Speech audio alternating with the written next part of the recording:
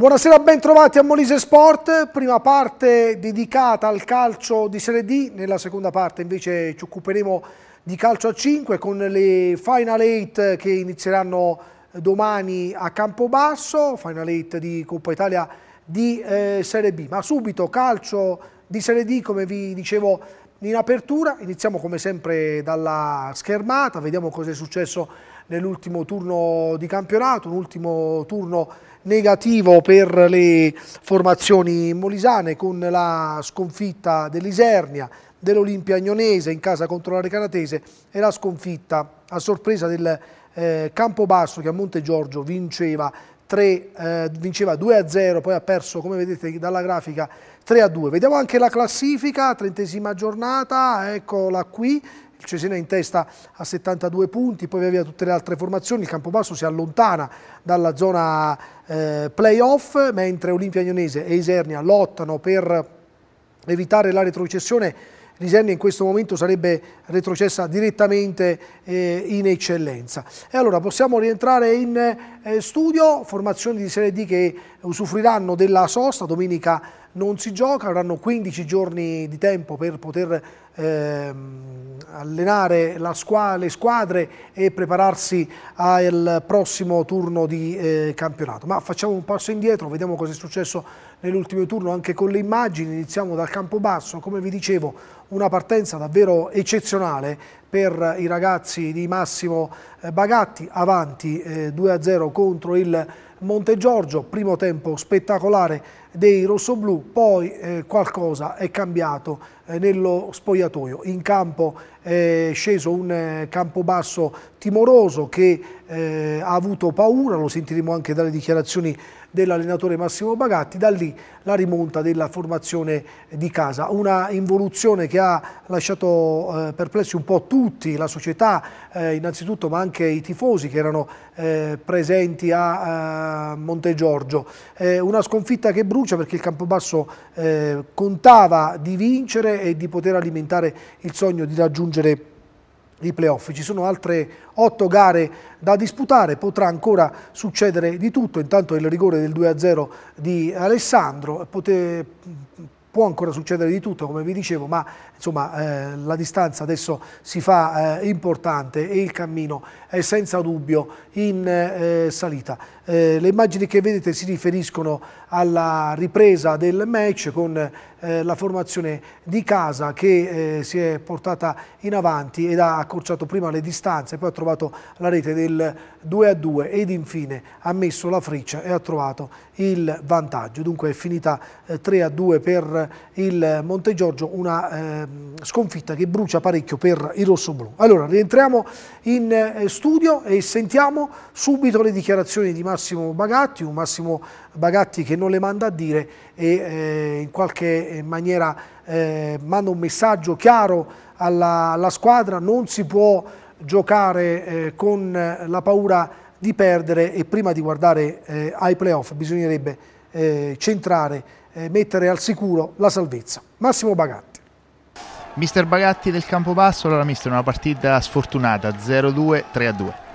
No, non è stata una partita sfortunata, è stata una partita in cui è, il calcio è solamente testa, quindi noi siamo ora siamo in un, un brutto periodo, dobbiamo saltarci fuori perché questa è una squadra che fino al 2-0, fino al 2-1 non aveva nessun problema in questa partita, ha preso il 2-1 ed è completamente sparita dal campo, quindi questo non può succedere. E noi, noi, siamo tutti responsabili di questo, dobbiamo metterci, dobbiamo, fortunatamente c'è la sosta, dobbiamo metterci lì, lavorare, ritrovare lo giusto spirito, il giusto... non so, è, è difficile da spiegare perché ripeto, fino al 2-1 che abbiamo regalato non, non c'era nessun sentore che una partita potesse andare così. Abbiamo preso il 2-1, abbiamo iniziato ad avere paura e quando hai paura nel calcio è la fine. Nel calcio non si può avere paura. A fine gara i tifosi vi hanno chiesto di andare sotto la loro postazione. No, ma i tifosi, i tifosi ci sostengono sempre, sono sempre al nostro fianco e hanno diritto oggi di essere molto arrabbiati perché, ripeto, siamo entrati dopo, dopo il 2-0, fine primo tempo sembrava una partita finita, abbiamo preso il 2-1 e invece che rimanere lì siamo, abbiamo avuto paura di perdere, quando una squadra ha paura di perdere, perde, è matematico. Bisogna incassare il colpo e voltare immediatamente pagina. Certo, bisogna voltare immediatamente pagina anche perché non siamo ancora salvi, quindi dobbiamo lavorare con umiltà, bisogna essere, stare lì con la testa e mettersi, ritrovare, ripeto, l'autostima e il coraggio, perché senza coraggio eh, nel calcio non si può giocare. Martedì la ripresa degli allenamenti della formazione rossoblù dopo la debacle di domenica scorsa ed il Rederationem nel chiuso degli spogliatoi del Romagnone. Allora vediamo com'è andata nel contributo. Il Redderazionem ieri pomeriggio negli spogliatoi dello stadio Romagnoli, inevitabile dopo il 3-2 di Monte Giorgio con i padroni di casa capaci di recuperare il doppio vantaggio dei lupi. Bagatti ha guardato negli occhi i suoi giocatori deluso dall'atteggiamento di una squadra che non sa più vincere. Delusioni giunte dopo che il presidente Nicola Circelli ha annunciato che il club puntava con decisione ai playoff. Evidentemente Giacobbe e Soci hanno avvertito la pressione del risultato da raggiungere a tutti i costi. Qualcosa insomma si è rotto, oppure, versione più accreditata, è solo una casualità. In fondo, pensare alla fase post-season con una squadra in salute, reduce da 13 risultati utili consecutivi, era lecito e invece l'ambizione del club si è trasformata in un boomerang. Forse c'entra un calo fisico e mentale perché dopo tanto rincorrere si paga sempre un prezzo alto. Forse c'entra anche un pizzico di inevitabile appagamento scattato nella testa della squadra e dello staff. Insomma, una serie di fattori avranno inciso sul rendimento delle ultime uscite, non in linea con le ambizioni del club, che tuttavia resta fiducioso il presidente Circelli. Getta acqua sul fuoco, condannati dagli episodi, ha spiegato dopo la seduta di allenamento di ieri pomeriggio, nessuno è sotto accusa. Domenica negativa anche per l'Isernia, di buono c'è soltanto la prestazione, possiamo vedere qualche immagine del match del Manuzzi di Cesena, certo l'Isernia non eh, eh, poteva fare il risultato in casa della prima della classe, nonostante goal, questo gol spettacolare, bellissimo di Antonio Petitti che ha sbloccato il risultato dopo appena due giri di lancette. Dunque Isernia in vantaggio, poi però è venuta fuori la forza, la classe, eh, la compattezza, l'esperienza del Cesena che ha trovato eh, il pareggio, poi il gol del 2-1 e eh, sul finire di gara la rete del 3-1. Eh, Questa è la bellissima eh, rete di Alessandro del Cesena, 1-1, tutto da rifare per i biancocelesti, da la strada sempre più in salita. E allora possiamo rientrare anche in questo caso in studio e ascoltare un po' le eh, impressioni, perché Valentina Ciarlante nelle scorse ore si è recata al campo, all'Ancellotta, dove l'Isernia eh, sta preparando la riscossa, ha intervistato il gran protagonista del Manuzzi di Cesena, Antonio Petitti, che ha segnato un gol bellissimo. Sentiamo allora il contributo. Antonio Petitti, autore di un bellissimo gol nella super sfida col Cesena e quasi quasi hai fatto sperare tutti i tifosi dell'Isernia per mezz'ora quel gol valeva la vittoria. Sì, purtroppo abbiamo, ci siamo abbassati troppo dopo il gol e quindi abbiamo subito la loro, la loro tecnica perché comunque sono una squadra che non merita di stare in Serie D. E abbiamo preso gol purtroppo, non siamo riusciti a tenere il vantaggio. Peraltro tu, come dicevamo poco fa col mister, hai avuto forse anche qualche altra occasione non sfruttata al massimo in quella partita? Sì, il primo tempo sono stato protagonista di un'altra occasione che purtroppo non ho sfruttato bene. E... Vabbè, non, sarà per la prossima allora. Sì, speriamo di sì e speriamo che valga i tre punti. Senti, questa squadra si può salvare, mancano otto partite, adesso cosa bisogna fare? Adesso bisogna continuare a lavorare, a, a prendere le partite con l'approccio come l'abbiamo preso con, con, il Cesina e cercare di tenerci stretti diciamo, il vantaggio e i punti che, ci, che faremo durante il campionato. Isernia che deve eh, imparare a eh, gestire meglio il risultato, a gestire meglio il vantaggio. Valentina Ciarlante ne ha parlato con il difensore eh, Lenoci che gioca talvolta quinto della linea A5 eh, ma eh, in alcune circostanze è stato impiegato anche da eh, interno della linea eh, di cinque difensori, da interno di centro-sinistra. Ehm, Lenoci sottolinea l'importanza di poter eh, gestire meglio i risultati, anche in questo caso il difensore dell'Iserni è stato intervistato per noi da Valentina Ciarlante. Nicolas Lenoci, autore di una bella prestazione contro il Cesena, cosa vi è mancato? Allora sicuramente dobbiamo lavorare ancora molto perché ci manca eh, soprattutto il tenere il risultato, visto che siamo andati subito in vantaggio dobbiamo, tenere, dobbiamo essere bravi più a tenere il risultato, però ovviamente le potenzialità del Cesena sono sicuramente superiori alle nostre, però abbiamo fatto un'ottima partita lo stesso. Siete riusciti a tenere testa alla capolista con una partita nettamente diversa rispetto a quella che avevamo visto solo sette giorni prima. Che cosa è cambiato in quei giorni nella vostra testa?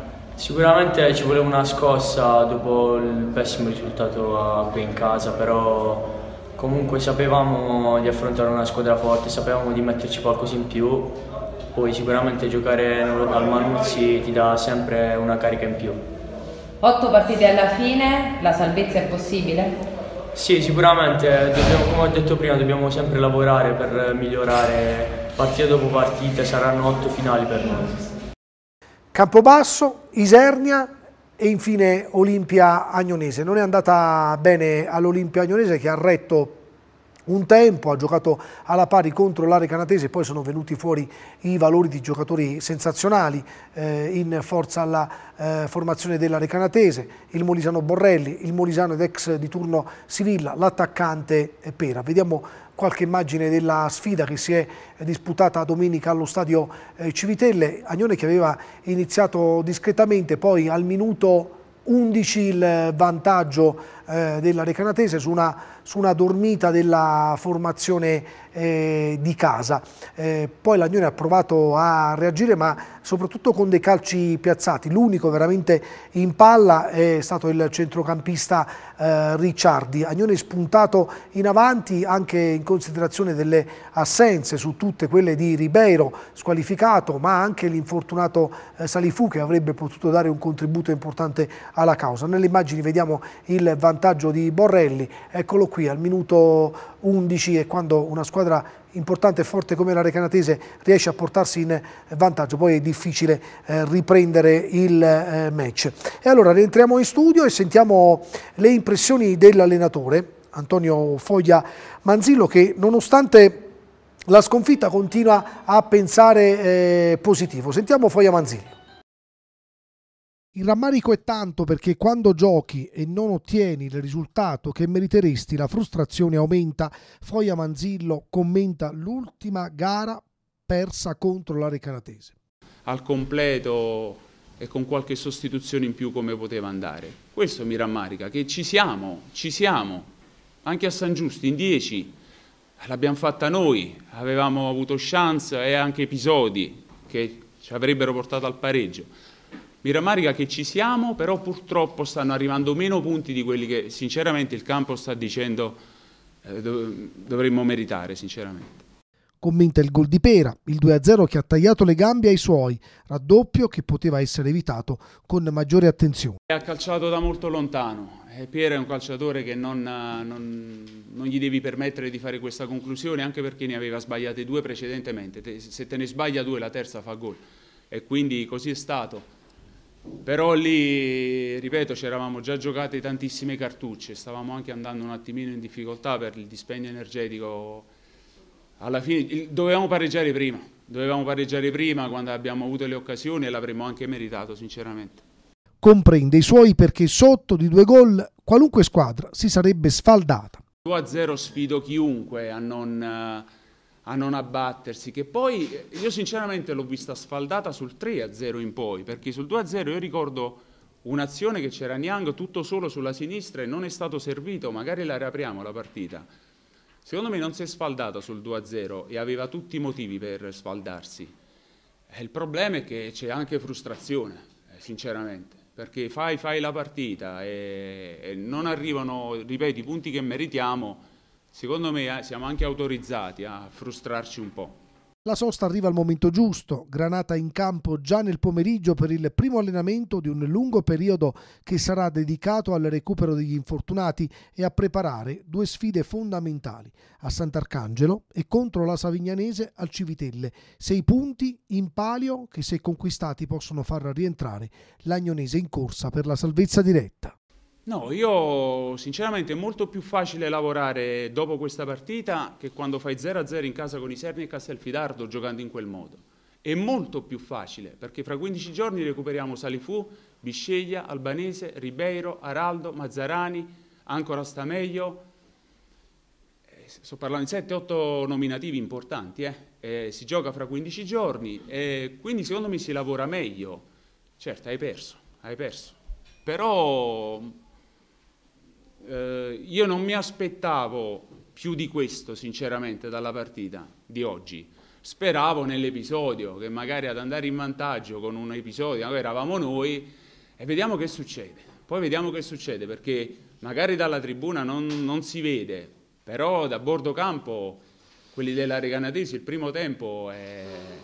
cioè, ci parlavano i calciatori tra di loro, litigavano perché, perché stavano facendo fatica stavano all'intervallo, ha urlato più il mister loro che io.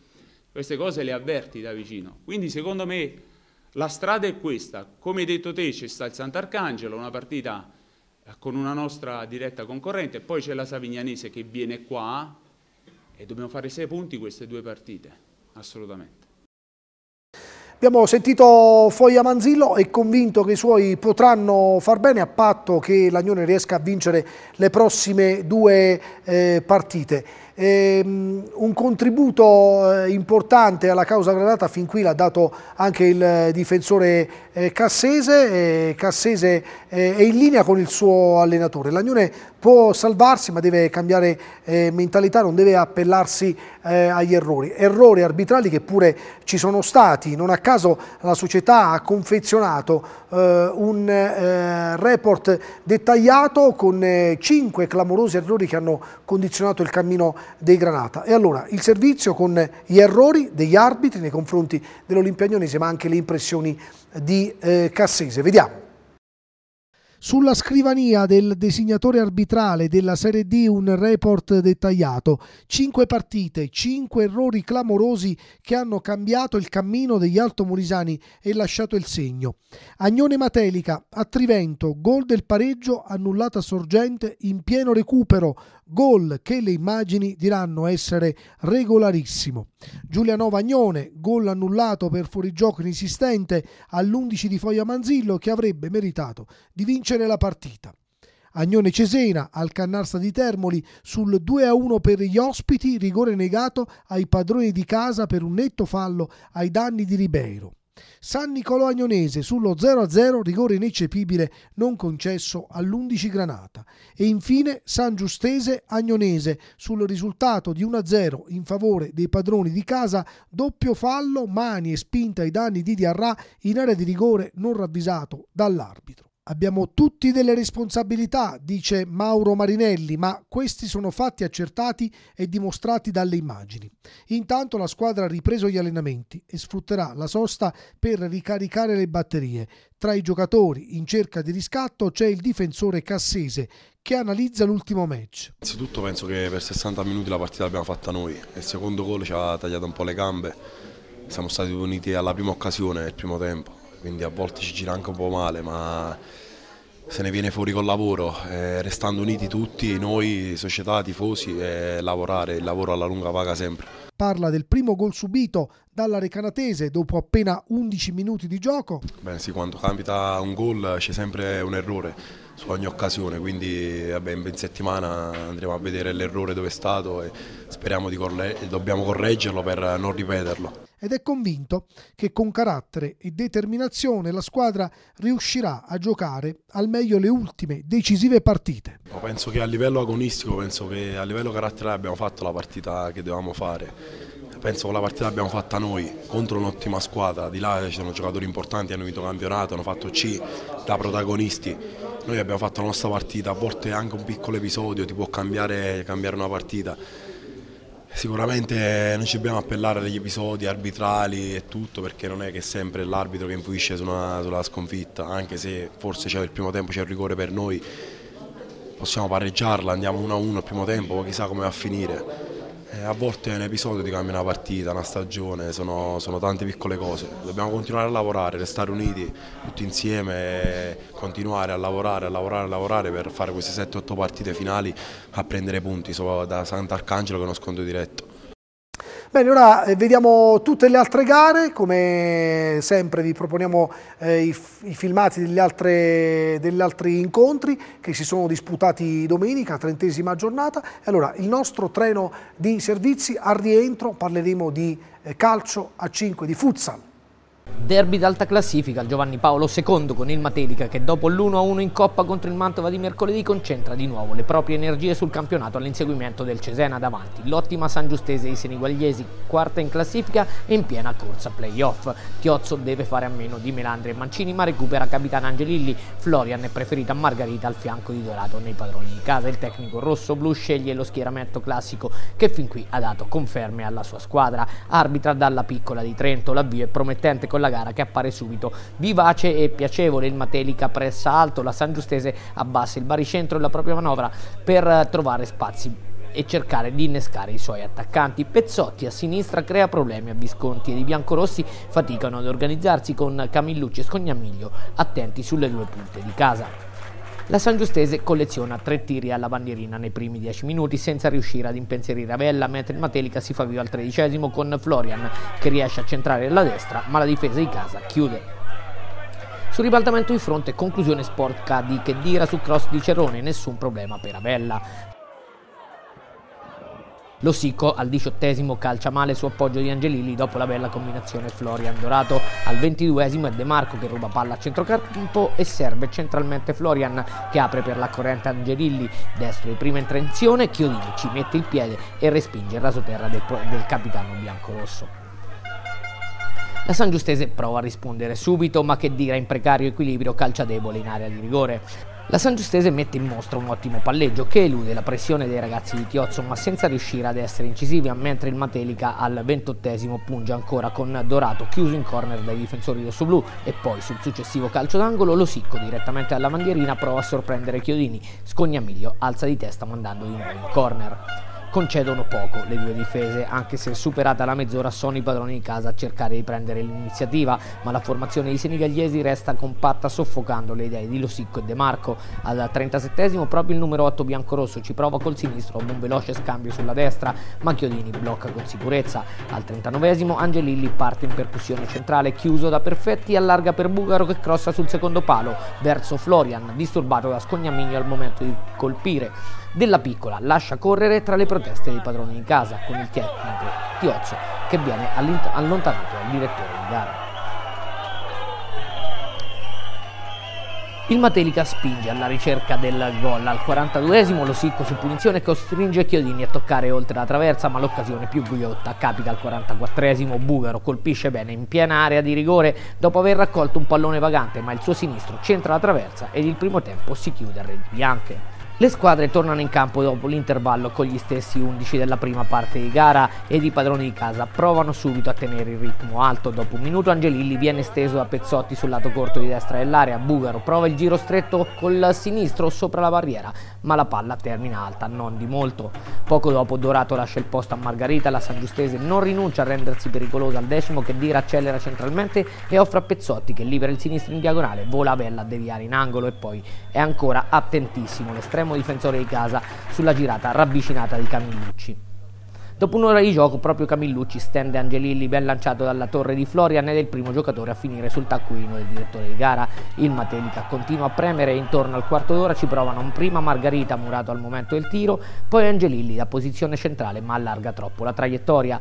Dall'altra parte Carta a cercare la conclusione ma il destro dai 20 metri è debole, non può spaventare Avella, più pericoloso 90 secondi più tardi Cerone che di sinistro manda di poco alto.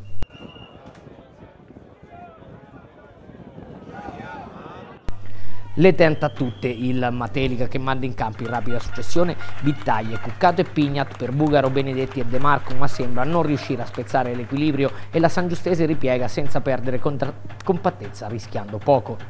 A 10 minuti del termine Pluchino rileva Cerone, giusto il tempo per assistere al lampo che spacca il match. Il Matelica trova spazio sulla sinistra e Margarita mette in mezzo un pallone basso e teso. Losico trova il tempo perfetto per l'inserimento, aggancia di destro e scaraventa alle spalle dei chiodini col sinistro per l'1-0 che libera la gioia dei tifosi in casa. La San Giustese non ci sta e prova a riversarsi in avanti alla ricerca del pareggio, ma i biancorossi si chiudono bene contenendo la reazione rosso-blu e riescono anche a ripartire in modo ficcante con Bittaglie, che prima non trova la porta dopo un bello spunto sulla sinistra, poi nel primo minuto di recupero sfonda ancora da quel lato e serve Florian in piena area di rigore che da due passi infila di nuovo la porta rosso-blu fissando il punteggio sul 2-0 che chiude la gara.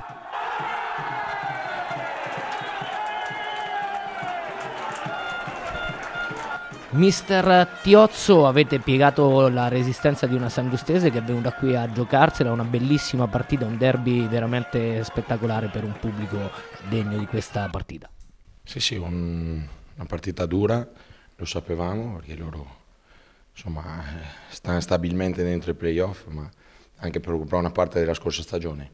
E I primi 25 minuti sono stati eh, di loro non dominio ma predominio ter- territoriale perché portavano molti uomini in appoggio e ci facevano un po', noi non avevamo le uscite giuste e poi un po' c'è stati anche in spogliatoio, eravamo un po' rincoglioniti oggi.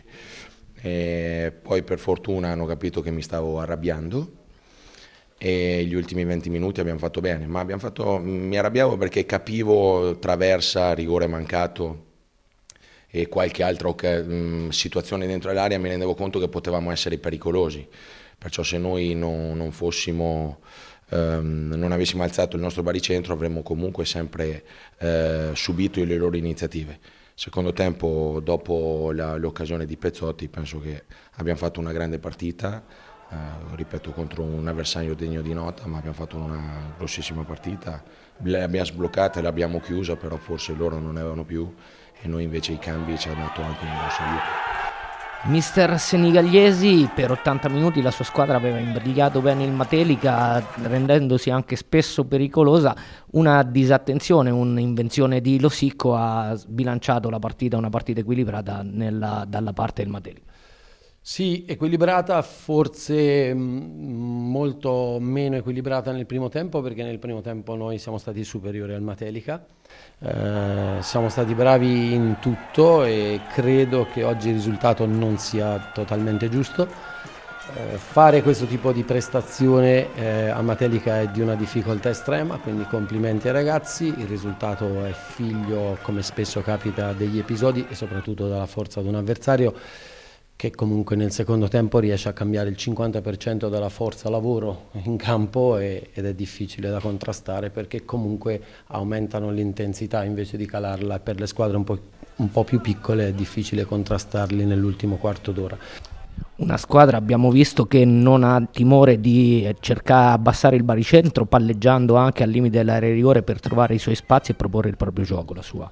Se noi non facessimo così saremmo una squadra come le altre, eh, non abbiamo grande fisicità e quindi dobbiamo avere il coraggio di fare quello che spesso è ritenuto pericoloso, secondo me è più pericoloso buttarla via perché comunque poi si innescano dei duelli, gare di fisico, di, di, di capacità individuali e a quel punto bisogna sperare nella fortuna spesso, noi non vogliamo sperare nella fortuna, vogliamo fare le partite, se le perdiamo come oggi accettiamo quello che ci dà il campo, però siamo comunque molto molto contenti di quello che abbiamo fatto e sarebbe la cosa più bella in assoluto perché perdere e non essere poi così delusi non è male. Una partita quasi da ultima spiaggia, da portare a casa a tutti i costi, pena l'abbandono delle residue speranze di salvezza diretta. Lo sapeva Lavezzano e lo sapeva Gianluca Colavitto, che dal suo arrivo, se non altro, ha portato una carica agonistica che in precedenza i marsicani avevano messo in mostra ben poche volte. E per capire che quella contro il Sant'Arcangelo sarebbe stata una sfida al grido di chi muore muore, sono bastati pochi secondi, giusto il tempo di vedere ogni giocatore in maglia bianco-verde pressare i romagnoli fin dentro la loro area di rigore. Colavitto propone Grazioso fin dal primo minuto con Dosa nelle vesti di trequartista e dopo 5 minuti De Roccis prova il destro al volo dall'interno dell'area, ma Battistini è ben piazzato. La risposta ospite è affidata al destro di Falomi che calcia la punizione sotto la barriera, ma Fanti non è da meno del collega avversario e blocca. Al diciottesimo l'Avezzano ha una buona occasione con una combinazione fra Bruni e Padovani che anziché restituire la palla al compagno meglio piazzato carica il destro e conclude come peggio non si potrebbe. Mezz'ora, palla buona ancora per Bruni che in area paga Dazio sul piano fisico e i difensori hanno la meglio anche stavolta. 41esimo, Dosa ha tra i piedi un pallone d'oro dopo un'iniziativa del pimpante De Roccis, ma la conclusione della mezzala è assolutamente improponibile. E per chiudere la prima frazione vi mostriamo un sinistro di Del Cerchio, da una quindicina di metri, con la palla che sibila alta sopra la traversa di uno spaventato Fanti. Passiamo alla ripresa, l'Avezzano vuole la vittoria a tutti i costi e al settimo la buona sorte gli dà una mano. Tutto nasce da una ripartenza che vede Dosa aprire a destra per Besana, che vola via sulla fascia e crossa in mezzo per Bruni, la cui girata al volo manda la sfera prima sul palo e poi sulla testa di Gabrielli, che infila la propria porta nel più classico degli autogol. Il Sant'Arcangelo accusa il colpo e tre minuti dopo Padovani termina a terra in area, ma per l'arbitro si tratta di simulazione con relativo cartellino giallo. Quindicesimo, rasoterra di Peroni che Fanti blocca senza troppi problemi. Diciottesimo, calcio di punizione per i marsicani. Batte Crasse in aria dove c'è Besana che conclude in maniera sbilenca, sprecando anche questa buona opportunità. Poi viene espulso Manari che si sta scaldando a bordo campo solo per aver allontanato un pallone. Decisione a nostro avviso affrettata ed eccessivamente penalizzante. E poco dopo va fuori anche il presidente D'Alessandro 27 angolo per il Sant'Arcangelo, colpo di testa di Gabrielli con palla troppo centrale e Fanti risponde presente. 28 cross di De Roccis in aria dove c'è Bruni che gira al volo, spedendo fuori per pochissimi centimetri. 31 contropiede bianco-verde in superiorità numerica, ma Padovani non riesce a deviare nella porta praticamente vuota. E poi l'azione che porta al fallo eh, da rigore e al raddoppio dell'Avezzano. È il 41esimo quando Besana prova a sfondare in area, ma viene ostacolato in maniera scorretta da Pigozzi e l'arbitro non ha esitazioni nel decretare la massima punizione. Inutili le proteste dei romagnoli e dal dischetto Padovani spiazza Battistini e chiude i conti con un preciso rasoterra. L'ultimo sussulto è di marca ospite, ma il tiro di Bondioli dall'interno dell'area si perde alto sopra la traversa di Fanti. Finisce con i giocatori che vanno a ricevere l'abbraccio dei tifosi della curva per un successo che per l'Avezzano vale veramente oro zecchino. Daniele Galloppa, il primo che si presenta in sala stampa, allora ehm, voi state vivendo una situazione diciamo al limite del, dell'assurdo, però comunque in campo riuscite a fare sempre delle buone cose, una squadra che si è battuta bene, il risultato però, però vi penalizza. Sì, eh, sicuramente il risultato ci penalizza anche se non abbiamo fatto la partita che volevo io, eh, loro sono partiti un po' più aggressivi in casa, però credo che se la sensazione è che se eravamo capaci a breve mantenere la partita in equilibrio potevamo volgerla a nostro favore perché piano piano riuscivamo a uscire da dietro. Avevamo preso un po' più in mano il pallino del gioco a fine primo tempo e inizio secondo tempo. Poi dopo purtroppo c'è stato quell'autogol eh, sfortunato e la partita è cambiata, è cambiata, però i ragazzi ci hanno provato fino all'ultimo, commettiamo dell'ingenuità, commettiamo degli errori abbastanza a volte banali, ma sono ragazzi comunque giovani, e hanno provato fino all'ultimo, poi mi dispiace perché oggi era un appuntamento importante per noi. Come state vivendo questa, questo campionato voi? In mezzo a tante difficoltà, i ragazzi riescono a trovare sempre comunque gli stimoli? Ma eh, sì, sono fortunato ad avere un gruppo mm, di ragazzi per bene. Il 90% di questa rosa è composta da, da ragazzi del 98, 99, 2000, 2001, quindi i stimoli ce li hanno per forza, anche perché per loro può essere anche un'occasione. È chiaro che è difficile perché tanti ragazzi si approcciano per primo anno con i grandi, eh, però eh, la vivono bene, la vivono bene serenamente, si allenano bene, solo che è difficile, sappiamo che è difficile fino all'ultimo. Però per loro comunque è una passerella importante no? per mettersi in mostra. Sì, sì, eh, quello sicuramente, infatti battiamo il punto su quello, però dobbiamo fare il risultato, che è importante quello. Grazie. Gianluca Colavitta, allora partita troppo importante per pretendere anche il bel gioco, ma insomma qualche trama buona si è vista, ma questi tre punti veramente sono oro colato. No, ho visto una squadra in campo che voleva assolutissimamente i tre punti, in settimana i ragazzi li ho visti concentrati, eh, eravamo un po' amareggiati per come era andata a finire la partita a Francavilla però sinceramente è una partita secondo me mai messa in discussione, eh, merito loro, merito dell'impegno che ci stanno mettendo, della voglia di, di regalare soddisfazioni al, al, pubblico di Avezzano. A volte si dice che sono gli episodi a decidere le, le, gare, voi avete fatto un primo tempo veramente, almeno una partenza sparata, avete messo alle corde l'avversario, però il gol non è arrivato, se non ci fosse stato quell'autorete loro? Sì, ma guarda, io dico, l'episodio te lo devi andare a cercare, cioè, la, la, la, la, fortuna esiste, ma ehm, deve essere cercata dal, dal, giocatore. Quindi in quel contesto lì si è arrivato in aria e, e, e poi c'è stato lo svarione del ragazzo, ma comunque i ragazzi volevano i tre punti e veramente un plauso va fatto a loro. La classifica adesso diventa praticamente interessante per voi, eh, la prossima partita eh, è altrettanto importante come questa, anche se c'è la sosta. Ecco, la sosta può eh, eh spezzare il, eh, il ritmo, la concentrazione? No, ma la sosta è da calendario, quindi l'accettiamo. Eh, sono contento che eh, avrò un po' di tempo per lavorare con i ragazzi, quindi ben venga la sosta, cioè non è che possiamo incidere sul passato, su chi ha fatto i calendari. Ecco. La sosta è venuta, meno male che è venuta dopo una, una vittoria, quindi i ragazzi sono sereni, si, alziamo la, la, stima del gruppo, quindi tutti fattori positivi che, che fanno ben sperare. Di negativo, se così si può dire, la munizione a Pierantozzi che era diffidato e l'espulsione di Manari, insomma è sembrata eccessiva a tutti quanti. Eh, io guarda sulle scelte arbitrali non, non, vado, non, vado, a sindacare, poi su Manari ero girato anche di spalle, quindi eh, il ragazzo mi ha detto che non ha fatto nulla, quindi devo credere al ragazzo, però eh, le ammonizioni fanno parte, sono delle componenti di una partita, quindi le accettiamo, andiamo avanti e andiamo a a, preparare bene questa partita contro, contro, il Forlì, che è un altro scontro, scontro diretto importantissimo. Per concludere, spera, pro, eh, probabilità di salvezza a questo punto? No, no, no, guarda, i ragazzi devono lavorare come stanno lavorando, devono cercare in, in, tutti i modi di scendere in campo con questa tigna, con questa voglia di, di dare il massimo. Poi quello che sarà lo vedremo, lo vedremo a maggio. Il Castelfidardo abbandona praticamente le ultime speranze di una difficilissima rincorsa salvezza, perdendo in casa 0-2 contro la Jesina, che invece dal canto suo con i tre punti guadagnati si mette in una posizione più comoda di classifica.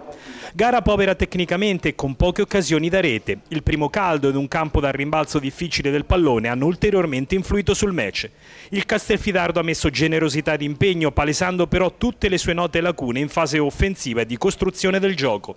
La Jesina ha trovato il vantaggio per errore del portiere Barbato si è limitata a gestire la gara senza particolari pericoli, soprattutto nell'ultima mezz'ora con l'uomo in più, per poi chiudere la gara nel finale in contropiede con Villanova. Prima della gara un minuto di silenzio per onorare la memoria di Gianluca Carotti, ex capitano biancoverde, la sua compagna Elisa del Vicario, i due fidardensi che hanno perso la vita nel tragico incidente della notte, notizia che ha scioccato e sconvolto la città. Cronaca Castelfidardo in maglia biancoverde, priva dello squalificato calabrese, Jesina in maglia biancorossa, accompagnata da un centinaio di tifosi al seguito. Al primo tentativo, al diciottesimo della partita, la Jesina passa in vantaggio, tiro cross senza particolari pretese di Marini, pasticcio di Barbato e Iabré a porta vuota firma il più facile dei gol. Al ventunesimo timida reazione del Castelfidardo, punizione di Trillini e palla di poco a lato. Gara dal ritmo basso e da bara di emozioni, Jesina in controllo, Castello inconcludente. 38esimo Jesina vicina al raddoppio, gran conclusione di Riccio, stavolta Barbato si riscatta con un intervento prodigioso a evitare il 2-0. Tutto qui il primo tempo con i Leoncelli a riposo avanti 1-0. Ripresa al quarto, clamorosa occasione gettata al vento dal Castelfidardo, iniziativa di Diouf, tiro cross e Trillini, ma anche incredibilmente la deviazione vincente dell'1-1. L'ingresso di Diouf comunque vivacizza il gioco del Castelfidardo. Al diciottesimo il Castello rimane però in 10, espulsione diretta per Radi dopo fallo su Villanova, probabilmente per qualche parola di troppo rivolta all'arbitro. Strada sempre più in salita per i biancoverdi, gara che col passare dei minuti si spegne lentamente, Castello incapace di incidere Jesina che si accontenta di una gestione ordinata, almeno fino al 44esimo quando Villanova in contropiede firma il 2-0 con un diagonale preciso che si infila all'angolino non lasciando scampo a Barbato. Termina così con il 2-0 della Jesina che festeggia con i propri tifosi e del Castelfidardo che chiude addirittura in 9 per l'espulsione di Giovagnoli. Massimiliano Vadacca, tecnico del Castelfidardo, il calcio è fatto di episodi, Onio e G hanno girato tutti contro. Sì, ma da parecchio per girare contro, anche con la Sartacangelo lo stesso gol abbiamo preso quasi simile, e poi diventa difficile, voglio dire, anche perché poi la Jesina è una squadra molto organizzata e ti concede poco e poi comincia a innervosirti, e poi siamo stati anche sfortunati perché all'inizio del secondo tempo c'è stata una clamorosa occasione, poi siamo andati sul pari, sarebbe stata una partita diversa, però poi dopo l'espulsione penso che abbiamo cercato con tutte le nostre forze, però poi penso la Jesina l'ha gestita abbastanza bene. Non è mancato l'impegno, non è mancata la generosità, però davanti ovviamente ci sono delle lacune note. Sì, ma dall'inizio è inutile nasconderci, è evidente, se ne accorge anche non dico un cieco, però facciamo grossa fatica, cerchiamo di, di metterla sull'aggressività, di creare qualcosa, eh, però facciamo molta fatica, è inutile nasconderlo, l'ho già detto settimane precedenti, eh, bisogna continuare a credere soprattutto nel rispetto della tifoseria della società, e di continuare a correre, rincorrere, cercare di, di onorare questa maglia e di avere rispetto del proprio lavoro. Adesso la classifica è davvero ancora più difficile, no? questa salvezza è lontanissima, dopo la vittoria con Forlì oggi c'era la speranza magari di poter riaprire, quanto può essere anche pesante il contraccolpo psicologico? Sì, è molto grande, anche perché poi abbiamo avuto due espulsioni di Radi e Giovagnoli, e domenica saremo arrecanati con diverse assenze, però questo non significa niente, bisogna sempre onorare e rispettare, fino a quando la classifica non ci condanna matematicamente bisogna sempre eh, cercare di credere e soprattutto di avere rispetto, ripeto, rispetto del proprio lavoro. Quindi la parola da dire sarà dignità no? da qui alla fine del campionato. Esatto, l'ho sempre ripetuto anche nello spogliatoio, è la dignità del proprio lavoro e di noi stessi. Poi i risultati sono la conseguenza, è un'annata iniziata male, eh, si è cercato di migliorarla, però non ci, non ci siamo riusciti fino adesso. Però bisogna continuare e avere, come detto prima, rispetto e dignità del proprio lavoro. Mister Ciampelli, allora è arrivata questa vittoria qui a Castelfidardo, fondamentale per la classifica, una gara inizialmente decisa da un episodio, poi avete gestito bene la partita, forse senza affondare più di tanto, tranne nel finale. Io dico che nel calcio bisogna sempre andarci un po' piano con i giudizi e le sentenze. È stato fatto passare il pareggio di, con il Monte Giorgio come qualcosa di negativo e io dico che la partita di oggi abbiamo giocato peggio di quella di domenica con il Monte Giorgio. Quindi eh, nel calcio bisogna avere equilibrio, lucidità e questa è una squadra che oggi con questa vittoria ha fatto 17 punti nel giro di ritorno e con Iabré ha portato a segno il 14 giocatore su 23 gol fatti. Sono numeri e i numeri, i numeri vanno sempre rispettati perché i numeri hanno sempre ragione. E va dato merito a questi giocatori di aver fatto una settimana da grande squadra, di aver giocato una partita difficile, perché non mi risulta che qui a Castelfidardo sono venuti a passeggiare tante squadre, se non sbaglio. E abbiamo fatto, giocato una partita tecnicamente non bella, come quella di domenica scorsa. La differenza è che oggi le occasioni che abbiamo avuto sono andate dentro, domenica scorsa no. E, ma non cambia il mio giudizio sulla squadra che rimane sempre molto, molto positivo. Poi, eh, la parte iniziale del, te- del, secondo tempo non l'abbiamo fatta bene, siamo stati eh, un po' troppo eh, neanche ingenui, forse superficiali e abbiamo rischiato di, tu- di rimettere in gioco tutto, poi però eh, abbiamo avuto una 20-25 minuti finali, devo dire, eh, pur soffrendo, perché è giusto soffrire, perché la Serie D è questa, nel senso di si soffre, si gioca, si gioca e si soffre anche. E quando c'è da soffrire, bisogna soffrire, come abbiamo fatto oggi noi. Adesso la classifica la guarda diciamo, con un pochino più di respiro. la classifica la guarderò con respiro quando avremo 44-45 punti, perché dietro ho visto i risultati, mi sembra che hanno vinto, quindi la quota credo si, si sia leggermente alzata, ma per noi oggi era importante venire qui e, e vincere, e vincere, perché sapevamo che era difficile. Dopo tre mesi il Real Giulianova torna al successo dinanzi al proprio pubblico, battuta la Savignanese 2-1, una vittoria che mancava dallo scorso 25 novembre 1-0 all'Isernia e in panchina sedeva Nico Stallone per il suo sostituto Dario Bolzan che ha preso in mano la squadra dalla vittoriosa trasferta di Avezzano, si tratta del primo squillo al Fadini in campionato. Prova di carattere di grande sacrificio per i giallorossi contro una Savignanese che non ha regalato assolutamente nulla, che ha messo in campo una cattiveria agonistica che a tratti è apparsa anche eccessiva. Giulianova rimaneggiato tra infortuni, l'ultimo quello di Balducci e la squalifica di Tozzi Borsoi. C'è però Di Paolo in attacco recuperato all'ultimo momento. Napolano da regista dinanzi alla difesa conferma di aver trovato il suo ruolo in mezzo al campo e sarà tra i protagonisti della sfida perché il gol decisivo porta la sua firma direttamente su calcio piazzato.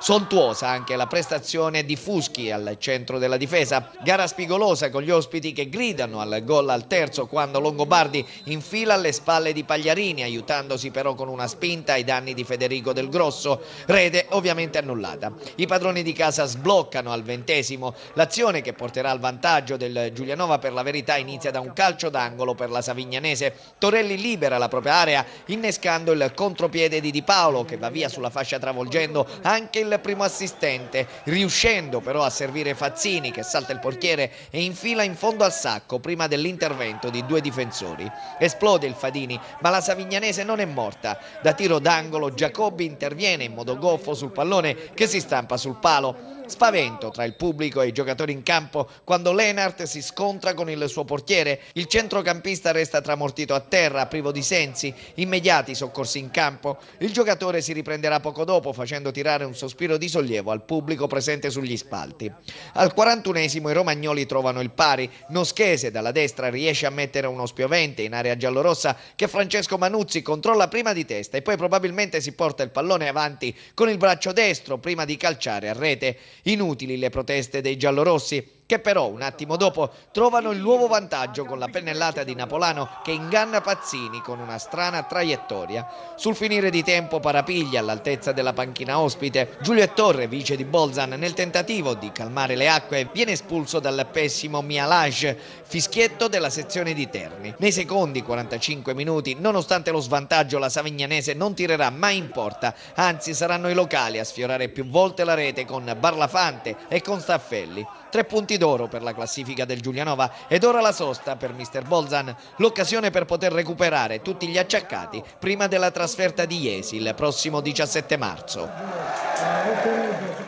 All'Aragona un cinico Pineto porta a casa i tre punti grazie ad una rete di Tomassini che decide l'incontro contro una Vastese sfortunata nella prima frazione, poco determinata nella ripresa. La seconda sconfitta consecutiva costa la panchina Montani che viene esonerato a fine gara. Ma andiamo per ordine. Nei padroni di casa tra i pali torna Selva al posto dell'esperto Patania, ancora fuori per infortunio l'attaccante Giampaolo. Gli ospiti che devono fare a meno di Ciarcelluti, Stefano Amaddio e Orlando sono in un momento positivo con ben 5 risultati utili consecutivi e vogliono ben figurare all'Aragona. Passiamo alla cronaca. Le due squadre partono al piccolo trotto, per vedere un'azione degna di nota bisogna attendere il diciassettesimo quando Stivaletta la piazza da dentro l'area di rigore ma manca precisione e forza. Passa un minuto e Del Duca dalle retrovie si inserisce e conclude Amadio si salva smanacciando e deviando in angolo. Il primo sussulto del Pineto arriva al 32esimo con una conclusione di testa di Pepe con palla proveniente da Piazzato, tutto facile per Selva che blocca in sicurezza. I padroni di casa si fanno vedere nuovamente dalle parti di Amadio con un'azione individuale di Fiore che conclude da fuori a giro, palla alta, non di molto. La Vastese crea e sciupa ed un cinico Pineto ne approfitta al minuto 46. Dopo un affondo sull'out di sinistra i giocatori in maglia celeste bucano l'appuntamento con il gol, ma sugli sviluppi dell'azione Tomassini svetta di testa e batte Selva per l'1-0. Si va a riposo con questo risultato. Da rivedere a rallenti il gol dell'attaccante maglia numero 9. Nella ripresa gli ospiti difendono, i padroni di casa attaccano in maniera sterile. All'undicesimo i teramani restano in 10 per l'espulsione di Pomante per doppio giallo dopo un fallo da dietro su Vito Leonetti. Al ventiduesimo Montani mischia le carte per cercare di riprendere la gara, inserendo Shiba e Conè per Stivaletta e Cicerello, passando da un 4-3-3 a un 4-2-4. Al ventiseiesimo Leonetti lavora un pallone ed entra in aria, la conclusione viene smorzata e finisce docile tra le braccia di Amadio. Minuto 31, ancora Vastesi avanti con Palestini che da fuori calcia senza convinzione, tiro debole centrale. Da qui in poi la partita non regala emozioni, anzi al 46esimo piove sul bagnato per gli aragonesi che restano in 10 dopo il doppio giallo preso da Vito Leonetti. L'ultimo pericolo arriva al 49esimo con una punizione di Capellupo, Amadio con i pugni smanaccia e allontana. Dopo 5 minuti di recupero per la Vastese arriva la seconda sconfitta consecutiva che certifica sempre più il momento difficile dei biancorossi che a fine gara annunciano il silenzio stampa. Il Pineto con il minimo sforzo fa bottino pieno e agguanta il sesto risultato utile consecutivo. Mister Amaolo, eh, sesto risultato utile consecutivo della sua squadra, non perdete da Recanati, è un Pineto che vola alto. Ma il, il Pineto si è ricombattato forse nel momento dif- più difficile, come ha fatto in altre circostanze. Noi abbiamo giocato dei turni infrasettimanali, abbiamo giocato eh, in 14 giorni 5 partite con un organico in emergenza, avevamo fuori Amadio, il portiere, Amadio Stefano, Ciarcelluti, Mazzei, quindi in quel momento la squadra ha dato il meglio di sé perché ha portato a casa dei risultati importanti e ho detto sempre quando eh, recuperiamo tutti quanti, questo, questo, gruppo può fare eh, grandi cose, era, era dimostrato.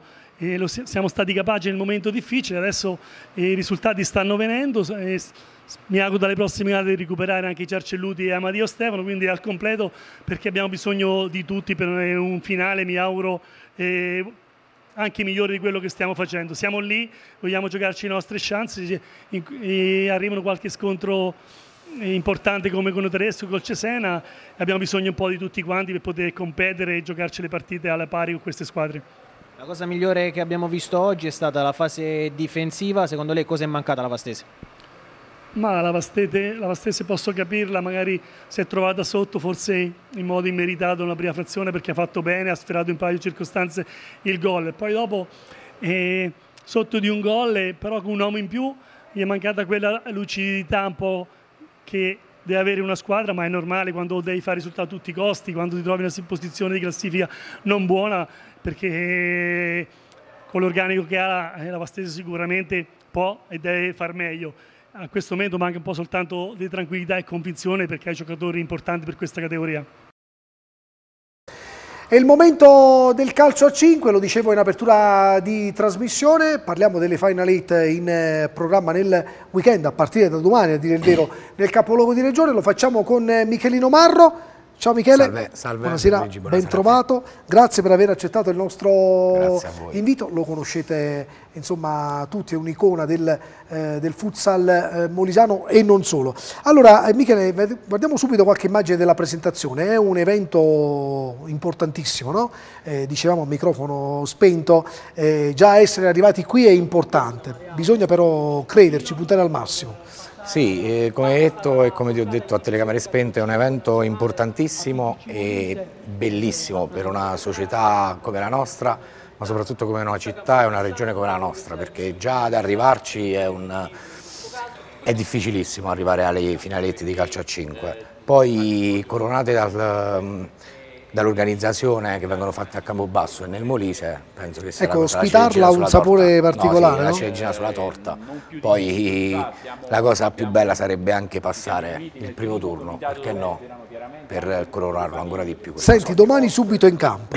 sì, alle ore 19, alle 19 contro il Città di Massa. Ecco, che avversario è? Ma eh, è un avversario che eh, è il primo anno che fa la Serie B e mm, io la reputo una squadra come la nostra, una squadra dove c'è un grande gruppo, c'è un giocatore sopra le righe che è Garrote insieme a uno spagnolo, poi sono tutti italiani e da quello che leggiamo e da quello che abbiamo potuto vedere dalle poche immagini comunque è una squadra organizzata per fare un buon campionato di Serie B, difatti si trova seconda o terza, non so, nel loro campionato e come noi è arrivato a questi quarti di finale di Coppa Italia, quindi però noi giochiamo in casa, giochiamo a campo basso, spero davanti a una buona cornice di pubblico, davanti alla nostra regione, quindi venderemo cara la pelle. Senti, come si supera questo avversario? Cosa, cosa serve? Grande determinazione, attenzione? Ma io penso oltre alla grande attenzione e alla grande determinazione, ehm, penso che per superare queste partite di questo tipo cioè, bisogna prenderla come una partita che prendiamo noi il sabato, una partita di campionato dove dobbiamo raggiungere l'obiettivo, tipo la salvezza, quando dovevamo raggiungere la salvezza, oppure prenderla come una vera e propria finale, dove, perché purtroppo è un dentro e fuori, quindi giocarcela come una finale. Senti, potenzialmente si giocano diverse gare in pochissimi giorni, ecco, questo eh, come si come si prepara? Siete pronti eventualmente a giocare più partite in poche ore? In poche ore, sì, perché comunque siamo una squadra che da agosto ci stiamo allenando tutti i giorni, dei giorni anche doppie sedute abbiamo fatto, quindi il sacrificio nelle gambe, cioè la benzina nelle gambe l'abbiamo messa ormai. Poi io penso che queste gare qua, come hai detto tu, che si giocano così ravvicinate, la vittoria ti dà ancora quell'adrenalina e quella marcia in più per affrontare anche la partita si seguente. Si recupera più in fretta e meglio? Secondo eh? me sì, perché quando si, recupera, si quando si vince si recupera tutto subito. E allora sentiamo adesso qualche contributo, iniziamo dal tuo allenatore, da San Ginario, l'abbiamo avvicinato, vediamo con quale spirito si appresta a vivere questa, questa importante esperienza. Allora, l'esordio con eh, il Massa, come, come, la mettiamo? Beh, diciamo che onestamente eh, non siamo capitati in un girone di ferro, ecco, questo lo possiamo dire, però è chiaro che essendo le migliori otto d'Italia eh, credo che tutte le partite siano estremamente difficili. L'obiettivo cosa ti aspetti? L'obiettivo innanzitutto di, fa, di ben figurare perché per i ragazzi essere arrivati qui e ospitare queste finali all'interno di questa struttura è già, è già un successo e, e, giusto merito ai loro impegni e sacrifici che stanno mettendo quest'anno. Detto questo si giocherà per vincere, giocheremo per batterci fino all'ultimo minuto e speriamo di riuscire ad andare avanti il più possibile. Allora Michele abbiamo sentito Marco Sanginario, dice eh, chiaramente puntiamo a superare il turno e poi insomma giocarcela a viso aperto perché insomma, è una manifestazione interessante, è un momento di, di, crescita anche per tutta la squadra. Sì, ma hai detto bene, hai detto bene il mister perché poi alla fine questo rimane un sogno fino alla presentazione dell'evento. Già dalla presentazione dell'evento e dall'organizzazione che vediamo mentre facciamo allenamento, quando finiamo di fare allenamento, stiamo sempre giorno dopo giorno eh, capendo che non è più un sogno ma è la realtà, quindi andarci a giocare una partita vera dove ci sarà una squadra avversaria di fronte perché non cercarla di battere, perché poi anche in allenamento mi hanno sempre insegnato che si scende in campo non per perdere. Non si molla vincere. mai, no? Non si molla mai. Poi se alla fine della, della partita perdiamo, però perdendo con onore, come ho detto ad altri tuoi colleghi, uscendo dal campo con la maglia sudata e stringere la mano all'avversario che è stato più bravo e poi ci riproveremo l'anno prossimo. È ambizioso anche il presidente del CUS Molise Maurizio Rivellino, abbiamo ascoltato anche le sue sensazioni. Rivellino, l'obiettivo qual è? Ma l'obiettivo intanto è vedere se la nostra squadra di calcio a 5 riesce a raggiungere il traguardo della, della, del, della Coppa Italia. Eh, però un obiettivo già lo abbiamo raggiunto, è quello di, di partecipare a questa, ospitare questa manifestazione che rappresenta il top del calcio a 5 di Coppa Italia è una vetrina per eh, il movimento molisano e per Campobasso? È una vetrina per, il, per, la futsal, per il calcio a 5, ma è anche un motivo per farci conoscere ancora una volta, eh, far conoscere Campobasso, il Molise, eh, far conoscere i nostri impianti e anche eh, la nostra organizzazione. Allora Michele, abbiamo sentito anche il Presidente, c'è molto fermento attorno a questa manifestazione, Rivellino è curioso di vedervi all'opera contro le le altre, le altre formazioni. E c'è una squadra che secondo te ha una marcia in più rispetto a tutte le altre, a parte insomma, Massa di cui abbiamo già, già parlato? Ma ci sono delle squadre, tre o quattro squadre, che sono un gradino, se non due, sopra alle restanti. E, mm, non mi va di fare un nome, mm, mi sbilancerei verso il Real San Giuseppe, che è una squadra fatta di nomi, di giocatori e di un grande team, però anche l'Imolese, ehm, l'Italpol e il Milillo comunque sono delle compagini che potranno dire la loro in questa competizione. Senti le caratteristiche della tua squadra, coloro che ci seguono da Ma casa, che cara- squadra è il Circolo La Nebbia Cusmolise? La- il, Cile- il CLN Cusmolise è un grande gruppo prima di tutto, un gruppo di amici che mh, in estate quando è stata fatta questa squadra forse nessuno avrebbe speso un euro per dire a febbraio-marzo sarai terzo in Terzo in classifica classifica. e farai la finale hit di Coppa, la final hit di Coppa Italia.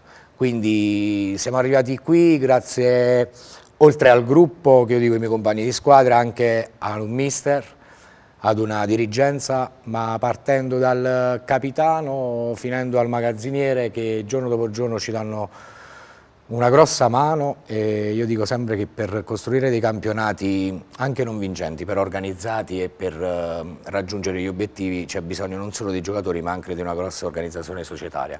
E questo ne rendo merito a questa società che anche con grandi sacrifici porta avanti questa Quello è la categoria base di tutto, Sì, no? sì, La quella è la base di tutto perché puoi fare poi tam- puoi chiamare tanti nomi, puoi chiamare eh, giocatori che hanno vinto e stravinto in questi campionati, però se poi non hai la società perdi tutto, se non hai il gruppo.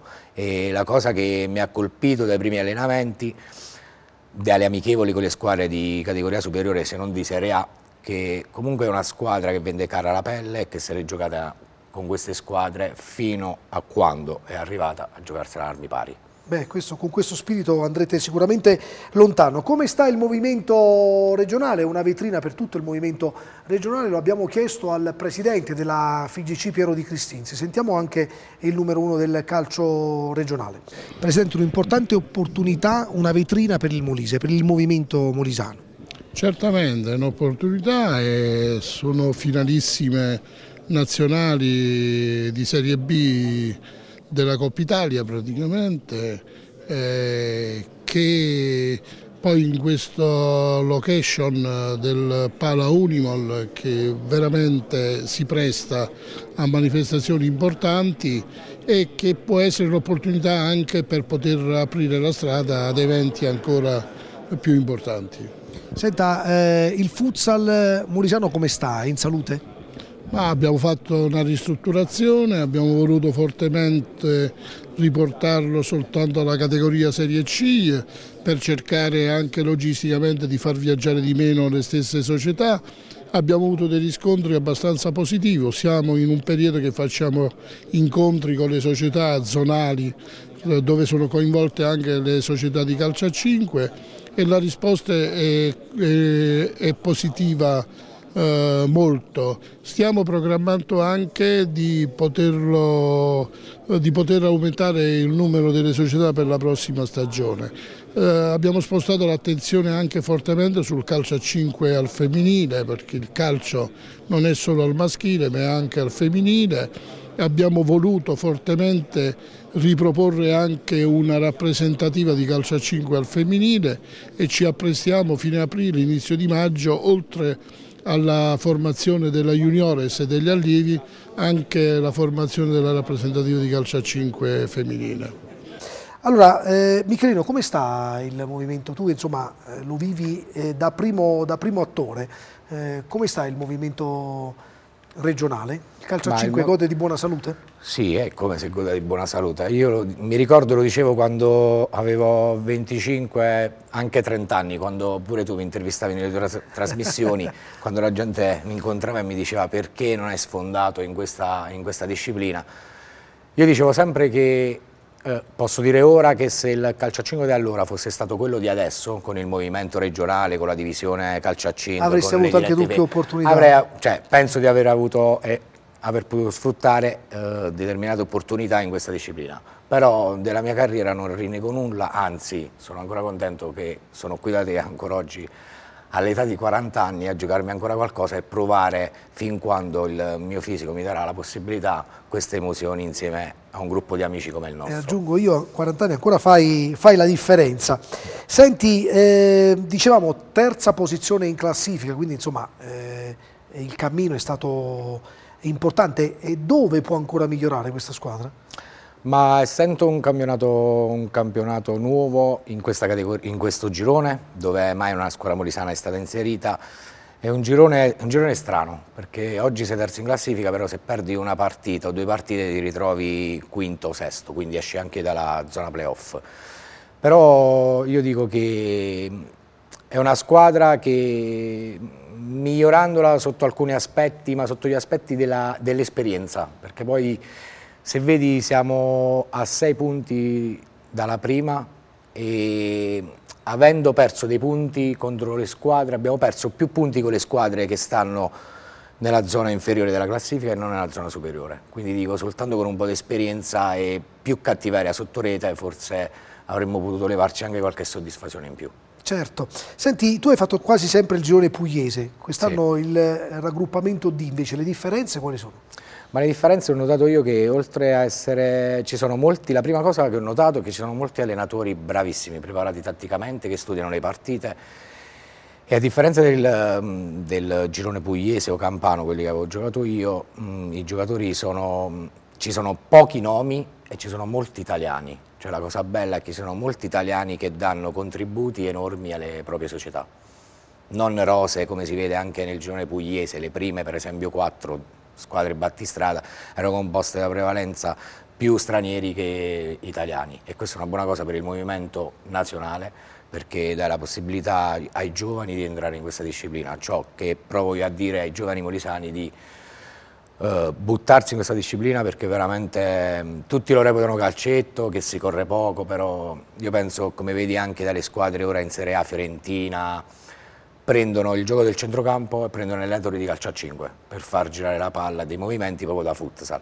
Quindi a 40 anni posso dire che ai ragazzi più giovani di provare questa disciplina. Di provare questa disciplina. Senti, ci sono dei nuovi talenti secondo te che possono sfondare, per, possono arrivare in alto? Sì, sì, ci sono dei talenti, vedi Umberto Caruso che sta facendo un campionato stupendo a... con Fausto Scarpitti in Serie A2 ed è primo in classifica convocato dalla nazionale ed è un ottimo motivo d'orgoglio per la regione Molise, cosa che io da quando lo vidi giocare la prima volta che contro di me a Bonefro, l'ultima partita c'era lo scontro per vincere il campionato e proprio lui segnò il gol che diede la vittoria poi alla Chaminade per fare la Serie B.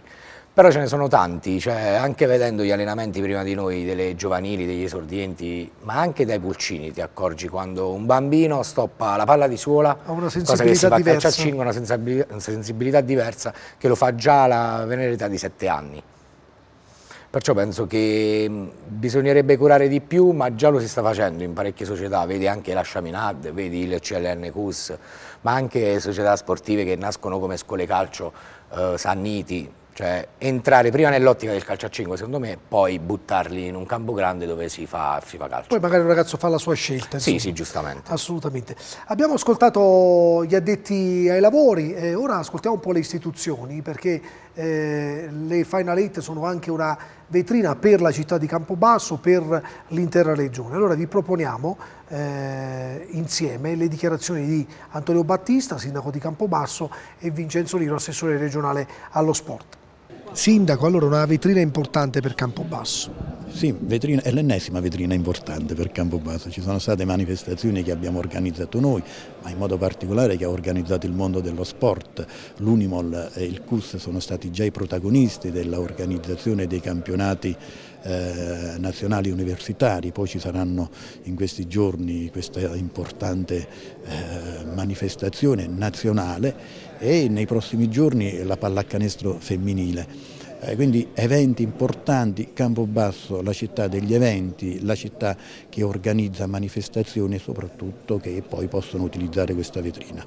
E, e questo è un aspetto fondamentale e importante per il futuro, promozione del territorio eh, ma io devo mettere l'accento sulle professionalità che sono state messe in campo eh, in occasione del, dei campionati universitari e poi quindi anche in questa circostanza. C'è il riconoscimento fuori da questi confini delle capacità, delle professionalità, della puntualità, la, la puntigliosità, la cura del particolare nell'organizzare eventi che poi portano anche al, al, al premio che sono quelli di darti la responsabilità di organizzare ulteriori eventi e questo mi sembra una, una presa d'atto che tutti quanti noi dobbiamo fare in modo positivo. Assessore, allora il Molise anche tramite lo sport può e deve farsi conoscere?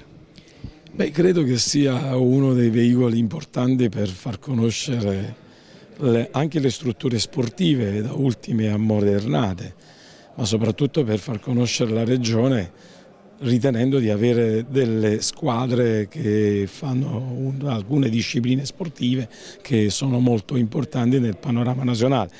Io credo che questo va dato merito a tutte le associazioni, alle federazioni, che alla VGC, al CONI, che nelle varie discipline sportive riescono a, a, a trattenere nella nostra regione l'attenzione, soprattutto con una manifestazione come quella del, del, calcio al 5 di Serie B dove ospitare otto squadre di finale di Coppa Italia, ma insomma penso che sia un appuntamento che si eh, va a inserire insieme agli altri. Abbiamo avuto il campionato, il, nono, il nono, trofeo eh, di nuoto dove abbiamo avuto Paltrinieri, eh, campione olimpionico, abbiamo avuto su eh, Campitello Matese, lo sci dove è stato un altro appuntamento importante, abbiamo questo appuntamento, avremo e ve lo anticipo poi sarà oggetto di apposita conferenza stampa il prossimo 18 e 19 di marzo il, la sesta giornata dello sport regionale dove avrete sicuramente parteciperanno delle sorprese e anche la tematica sarà oggetto di una novità eh, eh, soprattutto in questo particolare momento. Allora, mm, Michelino, siamo in conclusione, siamo, abbiamo la conclusione della nostra, della nostra chiacchierata. E quando appenderai le scarpette al chiodo, rimarrà nell'ambiente? Che cosa, sì. cosa farai? Cosa ti piacerebbe fare? Sì, l'allenatore no, perché... Ecco, perché l'allenatore no? no? perché l'allenatore, cioè, non è che non piace, però a me piace più stare a contatto con la squadra, o forse perché ancora mi sento giocatore, quindi voglio vivere lo spogliatoio, voglio vivere le problematiche, le vittorie, le sconfitte insieme ai giocatori, quindi eh, ne parlavo con uh, il mister Sanginario e il presidente Nicola Dell'Omo a inizio stagione, che avrei, uh, avevo detto era l'ultimo anno, solo che al momento mi Ci sento ancora ripensando. No, al momento mi sento ancora bene, poi me, certo. pure il mister dice che almeno un altro anno lo posso fare. Quindi come ti ho detto all'inizio, fin quando la, il mio fisico manterrà e mi darà la possibilità anche di dare soltanto una mano anche due, tre minuti, cioè io lo voglio fare perché mi diverto poi le chiacchiere che si sentono fuori, che sono vecchio e che devo smettere, me le faccio scivolare e continuo lungo la mia squadra. Però quando smetterò eh, avrei voglia di insegnare qualcosa che ho imparato durante tutta la mia carriera e portare un po' di esperienza verso i miei compagni, come già sto facendo e spero di farlo bene e poi dare una mano, te l'ho detto, dare una mano in stare panchina vicino al gruppo. stare vicino ecco. al gruppo, stare vicino alla società. Senti, ma come si arriva così alla tua età, con questa voglia, con questa eh, anche grande qualità che ancora, che ancora, riesci a fornire? Qual è il segreto? La passione, ma immagino? Secondo me, o c'è dell'altro? Ma segreti non ce ne sono, c'è la passione e poi c'è una cosa che mi hanno insegnato da quando ho cominciato a calcare i, i campi di calcio eh, l'umiltà. Cioè, io ricordo sempre quando ero piccolo e mi disse una persona che ora non c'è più, un uh, Nicola Bellomo, che ne ha scritto di pagine nel calcio. E mi disse una cosa, disse, quando la gente ti dice che sei forte, tu devi rispondere, non devi rispondere sì, Dico, devi rispondere me lo devono dire loro, non devo dire io se sono forte, perché capitava delle volte che ero a cena anche con lui, con il figlio Roberto, e a tavola si parlava di me e dicevano ma sei forte? E io da ragazzo, da adolescente dicevo sì e lui mi riprendeva sempre e mi diceva e questo mi ha insegnato molto nella mia carriera e mi, mi ha dato tanta umiltà. Come ti dicevo la passione e la voglia di una nuova scommessa anno dopo anno, anche a 40 anni, anche quest'anno, come dicevo Valentina prima, avevo pensato di smettere Poi a un certo punto sono arrivate delle richieste di squadre che volevano vincere il campionato in Serie C e mi è arrivata la richiesta del mister San Gennaro e di Nicola Dell'Omo. Avevo detto al presidente che volevo fare un anno a fianco a lui per dargli una mano nello spogliatoio come ti dicevo prima. Poi è andata per scommessa, mi, mi sono rimesso in gioco e ad oggi dico al 100% ho fatto bene, perché non provarne anche un altro anno? Beh, lo dicono i numeri e le prestazioni. Allora, grazie, grazie a Michelino a Marro per essere stato in nostra compagnia, l'appuntamento per tutti gli amanti del calcio a 5 domani pomeriggio alle 19 al Palaunimol. Al Palaunimol di Campobasso. C'è questo match sì. da non perdere, questa sfida da vincere a tutti i costi. Eh, sì, speriamo. Molise contro Massa. Allora, grazie ancora grazie per essere stato con noi, grazie a tutti voi che ci avete seguito da casa. Molise Sport torna come sempre il giovedì alle 21, replica il venerdì mattina alle 11 e il venerdì pomeriggio alle 16. Grazie ancora, arrivederci.